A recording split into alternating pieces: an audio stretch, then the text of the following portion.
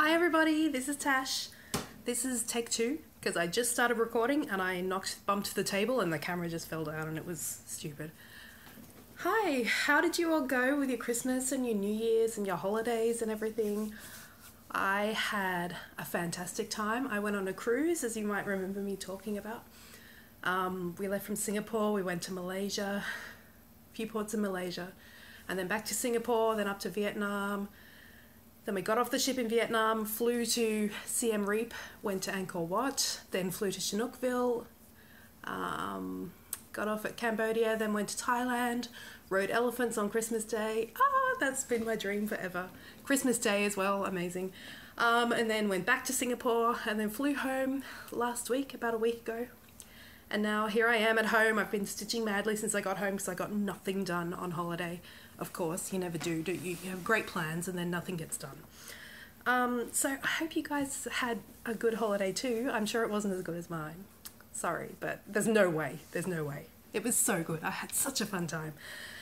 And um, so I could bore you with millions of photos because we have millions of photos. But I'm not going to. I'm going to share one thing with you. When we got to Vietnam, our first port was Nha Trang. And when we got there, we went to a silk embroidery factory. Um, it's called XQ Nha Trang, and it's a silk embroidery factory. And I put this post up on Stitch Mania on Facebook, showing a lot of the um, um, their work that they do there and pictures of them actually doing the work. It's kind of like needle painting if you've ever seen that kind of embroidery. Um, but the work is so fine and really beautiful. And unfortunately, I couldn't buy any of the work. But what I did buy was some of the silk. They actually sell the silk. They don't let you like choose colors, but what I bought was they do like assorted silk like that. I mean, I don't know how well you can see this color. It's absolutely beautiful, these colors. The silks are so fine. Like you can see how much hair there is coming off there. That's just the hair of the silk. It's amazing. These colors are incredible. And I bought three of these. They were about 10 $12 each, Australian dollars. Um, they came in a little bag like that, a little embroidered bag, although I doubt this was embroidered there. And it certainly isn't embroidered in silk. Um, but yeah, that's what I got at the Silk Factory. I will link my Facebook post if I can do that. I'll link that below. Um, and I might actually even make an online library so you guys can go and look at it because it was so nice. The work was beautiful. I wish I could have bought a piece, um, but I it would have been really hard to transport it back into the country. But anyway, the shop does have like a website, and I'm sure you can buy things on the website if you're interested. I actually bought three of these little things. Um, and they're all gorgeous, and I'd hate to part with one, but I might do one as a giveaway when I get to a certain number of subscribers. I got so many comments and subscribers from my last video. It was amazing. Thank you to everyone who commented. Um, I had a couple of questions, but I answered them in the comments. Next time I make a video, I'll be a bit more organized and I'll shout out to some people who ask me questions and stuff. Thank you for your questions and your thumbs up and your subscriptions. Um, I'm glad you enjoyed what I showed you. That's great. Um, I watch all of your videos too. Um, I'm just not much of a commenter, so anyone who makes the effort to comment is really amazing. So thank you.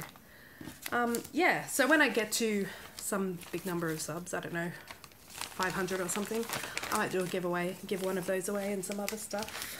Yeah, so that's my trip. Um, you can probably tell I'm sick. I got the flu on the last few days of my trip.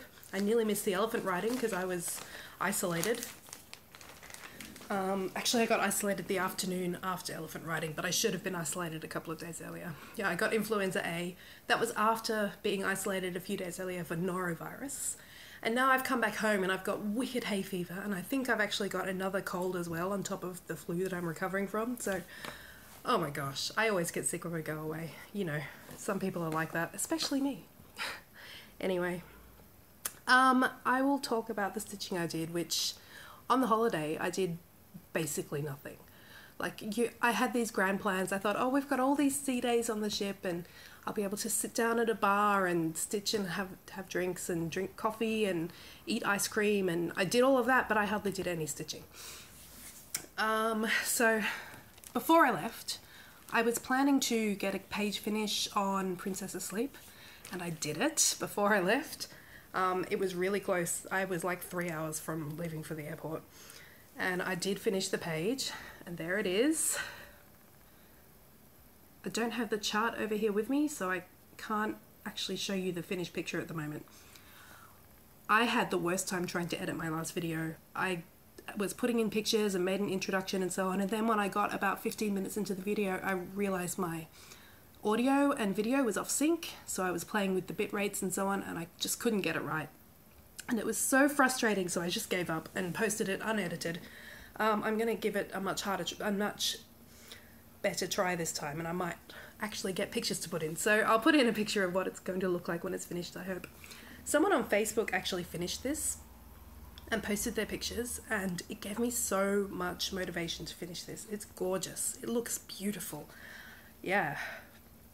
Um, if I can find that person's post, I'll put that in as well and credit who they are because I don't remember their name. Um, yeah, but I'm really pleased I got a page finish on that, and I want to work on it again. It's just that I've started two new full coverage pieces since I got back. We'll get to that. Yeah. I'm I'm really not clever. Like I've got this one that I want to finish and it's gorgeous and then I go and finish two more. So I can't finish any of them because I've got so many Heaven and Earth designs to do now. Or three of them, but three Heaven and Earth designs, one Golden Kite design, and one Gecko Rouge design. I'm like a masochist or something. So before I made this video, because I'm going to talk about some plans for 2017, and I went through all my WIPs and I counted that I have 27 WIPs and two UFOs. Um, I'm just going to lock this. Okay, sorry about that. 27 WIPs, that's a lot. So my focus for 2017 is going to be cutting down some of the WIPs by finishing them, not by chucking them out, hopefully. Um, so that's Princess Asleep. I haven't worked on her since I got back. I was just happy to finish the page. So I finished that with about three hours before I had to get on the plane. And then I had nothing to do for the next three hours. So I started this, the next Paddington Bear chart. Um, this is the Paddington Bear in Paris. Ta-da! Um, so cute. So this is the third chart out of the series of four. The other one I have to do is Sydney. And you know what? In 2017, by hook or by crook, I'll finish this and I'll finish Sydney. And I've got the four frames for these sitting up there, just simple black square frames about this big. And they will be finished, framed, and given to my nephew this year. They absolutely will. So that's what I did. I also took this to my niece and nephew's house yesterday because I babysat them for about 14 hours. Um, and then I got about one and a half hours of stitching in that time. you know what it's like with kids. They're five years old. Um, so I, the only thing I actually did manage to get done on the cruise was a little bit of the beautiful sea stitch along by the Ship's Manor. Um, you can find that on the Ship's Manor page or on their Facebook page. And I didn't get much done. I did sort of, I guess most, I guess I finished part one pretty much. Did a little bit of part two. Um, and here is my progress. The threads are so pretty. I'm really pleased with them and I really am happy with the background fabric I chose which was 32 count desert sand. Um, yeah, it's super cute. I really like it. I will be stitching more of this. There are currently seven parts out or six parts or something and I've only done one. Um, but I'll catch up and it'll be finished during the year. I'll finish this because all the parts will be out by then. See the threads, aren't they gorgeous? Wait a. I ordered these threads about a month before I left and they got here about two days before I left and I was so pleased because I wanted to stitch on this on the cruise. I thought the under the sea theme was a really nice theme to stitch when you're on a cruise ship and it was and it's just gorgeous. It's so pretty. So yeah, I'll work on this some more. Um, pretty soon, I think. Yeah. Because I'd like to catch up. It's so pretty. So there's that one. And that was all I did on the cruise. When I got back from the cruise, I had some mail. Um, uh, and I got a kit that I'd ordered last year. My boyfriend let me order it for Black Friday. It was kind of a Christmas present to myself. And it was, I'm jumping on the bandwagon with everybody else. I'm doing Gamer Nouveau by Gecko Rouge. The artwork is by Medusa Dollmaker. And I haven't done much. I started her uh, about four days before the new year. Basically the day I got back. The day I got the kit. I started her off, see look at all the threads. Wow, so many threads. So I started her, I've done over half a page. You can see the bottom of the page is just down there. So I've done more than half a page. And it's pretty much all just blue, which isn't very exciting. Um, but down here we'll start to see a little bit of the banner coming across like that. I'd like to hope it, so doing one page isn't going to take me too long. I'd like this year to do maybe three pages, maybe four pages, um, but I'm not going to be too hard and fast on my goals for this. I really like it. Honestly, I'd love to just work on this non-stop until it's done. Um, but my focus for this year is to get some of my finishes out of the way. And as much as I love full coverage pieces, they look gorgeous. I have so many other things I want to stitch as well. And I could put all my time in these things, but I'm just not going to. There's my Princess Peach needle minder, which came from Gina's Unique Boutique. Um, that came in the mail when I got back as well, just in time to put on my Gamer Nouveau cross stitch. Yay! So that was probably a start I shouldn't have had, because have far too many full coverage pieces, as I already talked about. But I did it, because I have no discipline. And then for my 1st of January, on the 1st of January, I had another start, which was a Heaven and Earth design start, and this was for the challenge, um, which is to stitch a full page by March 1st or April 1st or something. Um, so the one I started is called Contessa with Squid. I might have mentioned this last time. And you are either going to love this one or hate this one, I think. It's a bit weird. But I obviously love it. I think it's amazing. I've seen artwork by this guy, Omar Rayyan, and he's got another one where there's a girl, um, sort of the same sort of classical art style, a little girl in a beautiful white frilly dress holding onto her puppy dog, but her puppy dog is this grotesque beast monster, slobbering, slathering, sharp teeth. It's they're just hilarious. It's so bizarre and weird. Um, but I love this. I adore it. And so I've made a start. I've done quite a lot on this, but pretty much all of it is just black. Don't know if that helps. Just black stitching. I am so sick of black. Um, and I have a lot more to go. So you can see I'm doing the first page up in that corner. And you can see a tiny little bit of a brown tentacle down here. And there's another bit of an orange tentacle that'll come in uh, here at the bottom of the page. So that's almost half a page progress there. And I'll work on this for the next uh, it'll probably take me two more weeks to finish the page because I go back to work on Monday. Um, but I'll work on it. Oh my needle minders. Are they cute? This one is an octopus from the Etsy shop Stitchin' Mad this one is obviously Ursula from The Little Mermaid and I got this from Gina's Unique Boutique yeah they're super cute right so yeah I will finish this page this year for sure for the challenge. I'm already halfway through, so I don't think it'll be a problem to finish. I'd really love to do another page just so I can see some of the tentacles come up, but I'm not going to hold myself to that this year because I want to get away from my full coverage pieces a bit to achieve some more stuff, some more finishes. Um, so that's all of my stitching that I've done since my last video a pitifully small amount, I know, but there you go. That's life when you go on holiday, nothing gets done. um, I actually did get a lot of stash though, since my last video. I showed you my silks that I got from Vietnam. Showed you some of my needle minders, I got more. I had an order from Gina's Unique Boutique, and I because I'd bought some in the Black Friday sale. Um, so I showed you Princess Peach, and I showed you Ursula from The Little Mermaid. I also got the Cheshire Cat, because I am mad on Alice in Wonderland. I, I, for some reason, I didn't get the, the queen, the red queen. the Queen of Hearts. I don't know why. It's because I'm insane. It's because I'm stupid.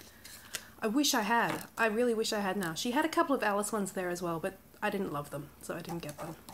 But I do love my Cheshire Cat, and I can't wait to be stitching something that this will work on. So cute! Um, and I got some more. Here's one of those tattooed Disney princesses. This is the Siren one, which is Little Mermaid. It just says Siren at the bottom. She's very cute. And I love this cameo skeleton and this jeweled bee. They're so pretty. This jeweled bee I've seen, I saw in her shop months ago, and I added it to my wish list. Um, and I just couldn't justify, you know, buying one needle minder, and then I added lots to my cart to justify, and then it was uh, like two hundred dollars. So when the sale came up, I thought I'll add that because it's so pretty. So there we go. There are my four needle. Actually, I got six because the other two are already on projects: Princess Peach and Ursula. Um, and I also ordered in Abi Bellastitch's Black Friday sale. And from her I got a little Once Upon a Time book, a spooky ghost, spooky, um, a sugar skull, and a little weird owl. They were all like a dollar fifty each, so I really couldn't I couldn't justify not spending the money to be honest. Um, and that one in the middle is a freebie she sent me, which is so cute. Thank you, Abi. I really love them. These are nice ones because they're, they're small. I actually prefer smaller needle minders. All these ones, you know, they're huge, much bigger. I actually prefer smaller ones really, but um, yeah, they're very cute. I can't wait to also use all of these. I obviously need more WIPs so I can put more things on them. More, so I can use up all my needle minders. So that's those. What else did I get? Um, I got my Gamer Nouveau chart, well, kit, and I've already started it because I have no discipline. I got the threads for the Ship's Manor Stitch Along, which I've already showed you because I used them for the Stitch Along. Um, I got. Oh, when I got back from the cruise, Lincraft had a 50% off everything sale.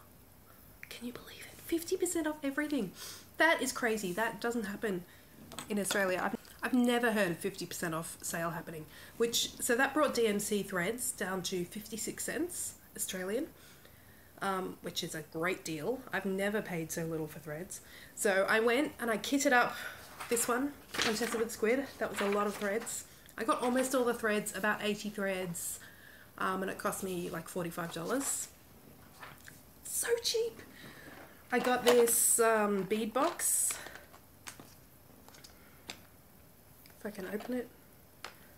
Oh my god. I just unwrapped it and threw away the instructions. Well, instructions for a box, right? I wasn't worried. Oh, there we go.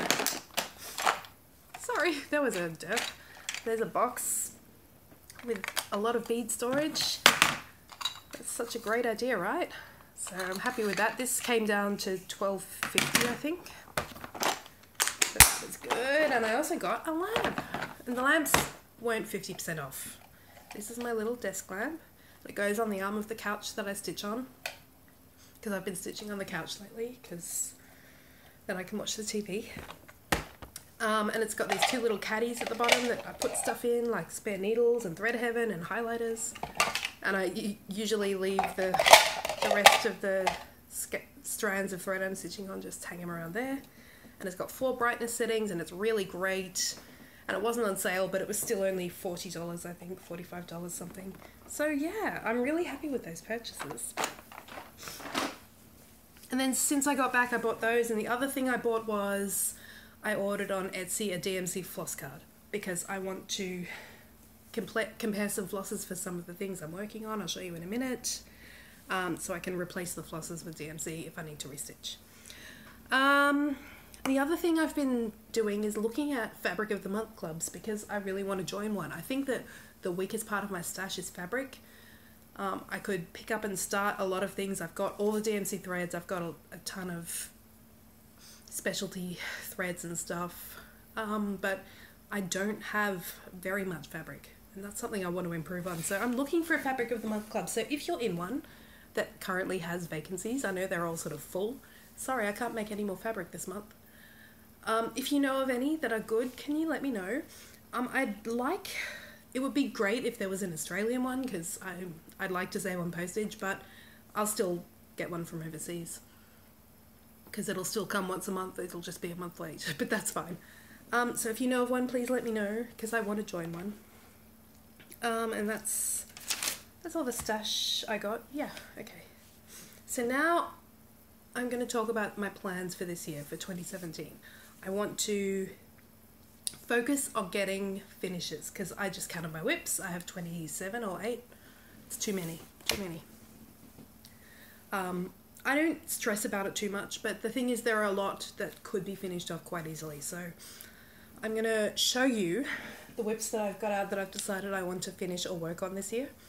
Um, and I'll show you them. And this is a good way to show you quite a lot of my WIPs, I think, because I've got a lot. And I've got a long list here of ones I want to finish, from here to here, basically. Um, and that might be a bit ambitious, but I'll show you anyway. It's good to have ambitious goals, and then if you don't meet them, you can try harder next year. so, my goals for this year is to finish a page on Contessa with Squid. I might finish two, we'll see. I want to finish three pages on Gamer Nouveau. I want to finish the Beautiful Sea Stitch Along, which should be fine because it'll be finished in another 1, 2, 3, 4, 5, 6, 7, 8, 10. So 20 weeks. So about six months, the last part will come out. And so I should be able to finish that, no worries. The parts are nice and small, which is nice. I want to finish Paddington in Paris and Paddington in Sydney, which is the last one in the set. Um, oh, let's hope. Okay, so I also want to finish Firefly Fairies, which is this one by Lavender and Lace. Um, and basically what I have left to do is the third fairy and then all the metallics and beads. I'm not going to unroll it again you the whole thing. Um, I'm, I'm going to finish this this year. I want to finish this by April. This is my biggest goal for the year. This is the first thing, it won't be the first thing I finish, but if I don't get this done, I will chop off my right hand. I want this done this year. This has been in progress since 2004 maybe. I want it done. And I will give it to my niece Charlie. I showed her a picture of it yesterday um, and she said, Oh, I don't like it. And she asked me to stitch her on My Little Pony thing instead. Um, but I'll give her that anyway. She'll like it when she sees it. Um, I want to finish something for my nephew Ben as well. These are for my nephew Lockie, the Paddington Bear ones. Firefly Fairies is going to be for Charlie. And for Ben, I'm going to finish off. This is my oldest WIP. I started this in 1990. So it's 26 years old. I was seven years old when I started this. It's a kit from Janlynn called Dream a Dream. I hope the glare isn't too bad on this because it's a glossy picture. Um, it's very cute. It's so cute. Um, and it will actually stitch up quite quickly. I'll show you what I have done so far on it.